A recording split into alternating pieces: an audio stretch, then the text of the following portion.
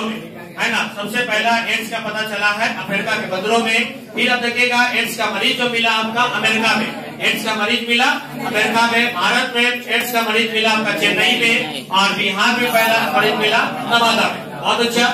फिर आप देख लीजिएगा कि मानव रोग हो गया इंडोक्राइनोलॉजी अंतःस्रावी ग्रंथि।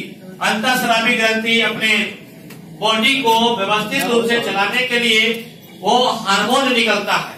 और सभी हार्मोन अलग अलग ग्रंथियों से निकलता है।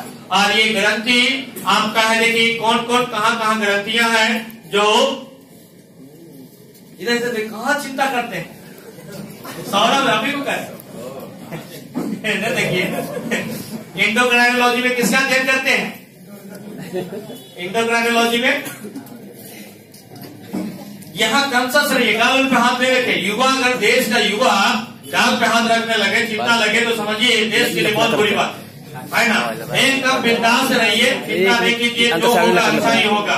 है ना एकदम सबका होता है आपका भी होगा यदि ये सनातन सत्य है है ना सबसे पहला एड्स का पता चला है अमेरिका के बंदरों में। फिर अब देखिएगा एड्स का मरीज़ जो मिला आपका अमेरिका में। एड्स का मरीज़ मिला। अमेरिका में भारत में एड्स का मरीज़ मिला, आपका चेन्नई में और बिहार में पहला मरीज़ मिला, नवादा में। बहुत अच्छा। फिर आप देख लीजिएगा कि मानव रोग हो गया इंडोक्राइनोलॉजी अंतःस्रावी ग्रंथि। अंतःस्रावी ग्रंथि अपने बॉडी को व्यवस्थित रूप से चलाने के लिए वो हार्मोन निकलता है और सभी हार्मोन अलग अलग ग्रंथियों से निकलता है। और ये ग्रंथि आपका है देखिए कौन कौन कहाँ कहाँ ग्रंथियाँ हैं जो इधर से कहाँ चिंता करते हैं। सौरभ अभी को इधर देखिए। इंडोक्राइनोलॉजी में किसका अध्ययन करते हैं? इंडोक्राइनोलॉजी में?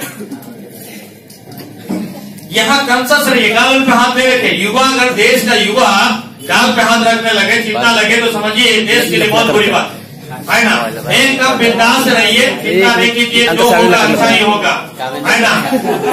एकदम सबका होता है आपका भी होगा यदि ये सनातन सना और ये पाइप निकल करके आता है माया हाथ में।